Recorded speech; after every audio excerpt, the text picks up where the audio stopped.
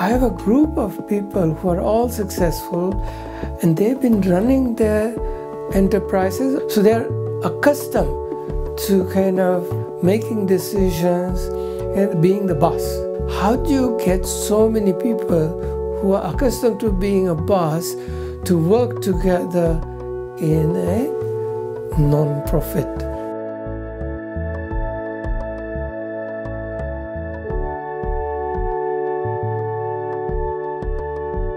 I had one advantage that I had been a board member of the Computer History Museum. And because of that, I had seen how non-profits work.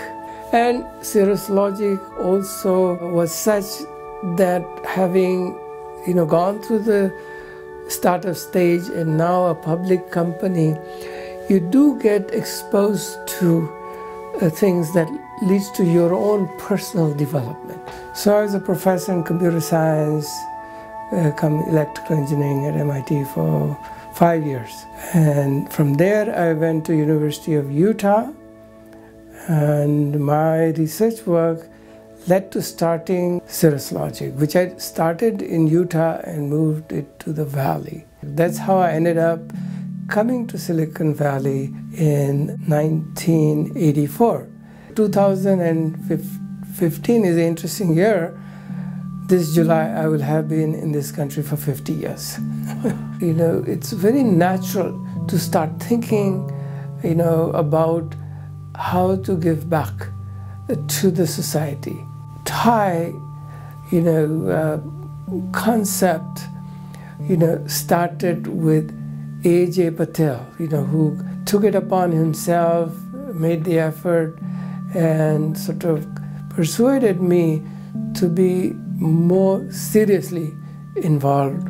As a early group got together, and there were people from India, there were people from Pakistan, and we had one person from Bangladesh, and we said, you know, instead of just going about giving back by just collecting money and you know giving money to others, let's think how we might be very effective. That deliberation led us to the conclusion that you know we were special to the extent you know we had built businesses and we had that knowledge.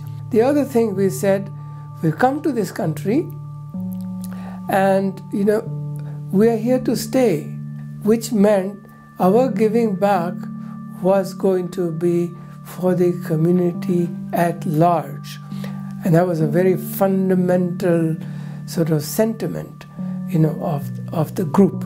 You know, it became clear in order to make you know it successful and bring other very successful people to participate you know it needed a leader and so the group by proclamation said Suhas you are our leader you cannot say no. And I said, Okay, I'll be happy to be the leader, but you know, this work is not done by a person. So you have to, you know, do this thing with me. And if, if you promise to be with me, I will do the work. And, and then we'll together build this organization tight. A month after I was asked to be leader, I said, gentlemen, we should do something worthwhile together. And my proposal is that in spring, you know, we have a workshop for entrepreneurs where we teach them, you know, how, how to do things, and then later we can mentor them. And in fall, we should have a financial conference more designed for the companies that are associated with us to go, you know, raise money from the financial people. We did meticulous work on how to plan that workshop, divided up the tasks among ourselves, made a syllabus, and went to work. We departed from the traditional way of how you run a conference.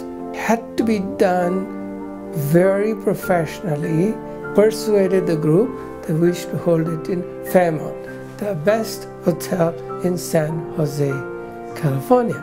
The rest of it, how it is conducted, where it is conducted, the polish, professionalism, we must have it just like a sales conference of Cirrus Logic.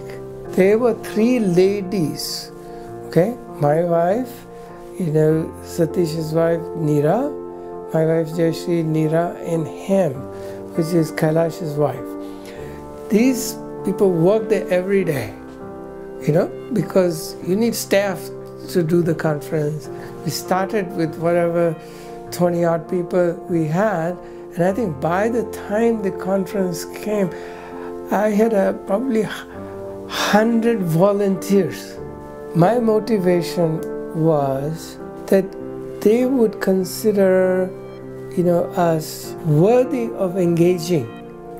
And when we tried to get uh, booking we didn't have any um, credibility. And they said well you have to put in deposit. So that's that's the time we said okay i wrote the first large check. So in in some ways you know, in the natural process, I ended up being being the first first uh, financier of of, uh, of TiE. You know, I wanted to plan this, you know, very well. So I went to people who used to do sales planning at Cirrus Logic. Those folks said, "What are you trying to do?" I said, "This is this is what is in our mind. This is what we're trying to do." They liked it so much they said, I'll give you an offer you can't refuse. We don't charge you any fee. All we want on the, you know, uh, last page of the booklet you put, just give us an acknowledgement. I said, I will more than happily do that. It was like, you know, we being introduced to the broad community of Silicon Valley. My wife was the first, you know, whatever they call uh, executive director for three years. And so we, we, couldn't pay any people, right? So these ladies, you know, there was a group of ladies I told, they managed the office and gave the, the professional presence of a organization we are here ready to do business. I believe, okay, in, in the next 10 years from now, our community would play an important role in creation of wealth through our entrepreneurs and we need to prepare them. We need to give them you know not only skills but the values because otherwise other people will define their values. So that this is this is a responsibility of us there is uniqueness in TiE Okay? There are many, many organizations to help young people. To my knowledge, so far, TiE is the only organization where the successful and the aspiring come together. People's first reaction meeting me in TiE was, oh, you're just like us. I come to TiE, you come, come here, you know, I'm available. TiE is made by a group of passionate people. If you want to raise the standard of living, it's not a work of one person or another. No, we have created a community. In the end, we can make money. Money alone doesn't buy happiness. Okay? Happiness comes from doing meaningful things. That's what we're trying to do in TiE.